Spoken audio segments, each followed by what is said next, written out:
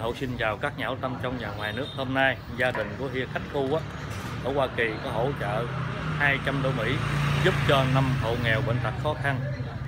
À, Dương Hậu cũng thay mặt người nghèo, người bệnh ngã bảy cũng xin cảm ơn gia đình Hia Khách Khu chúc cho Hia được nhiều sức khỏe. À, Dương Hậu mới mở trang YouTube à, Hậu từ thiện bảy mong các nhà hảo tâm hãy đăng ký và like thích. Dương Hậu có cái kinh phí nhà mạng thưởng sẽ dùng vào quỹ từ thiện bảy giúp người nghèo người bệnh. Cảm ơn quý vị về phút xem chương trình này.